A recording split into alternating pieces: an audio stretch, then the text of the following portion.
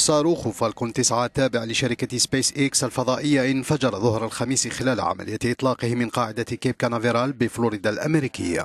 انفجار وقع خلال إطلاق الصاروخ من منصة الإطلاق وعلى متنه مجموعة من الأقمار الاصطناعية التي كان من المقرر أن ينقلها إلى الفضاء.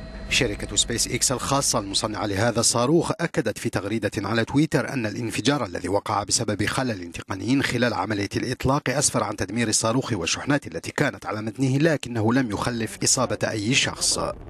الشركة التي أسسها الملياردير الأمريكي إيلون ماسك في 2002 نجحت في إطلاق 20 صاروخا نحو الفضاء. صاروخها فالكون 9 استخدم في عدة مهام لتزويد محطة الفضاء الدولية سبيس إكس سجلت عدة نجاحات في المجال من بينها استعادة قسم من صاروخها القاذف فالكون 9 وجعله يحط على منصة عائمة في البحر. تقنية رائدة ستساهم في تخفيض تكاليف المهمات الفضائية في المستقبل.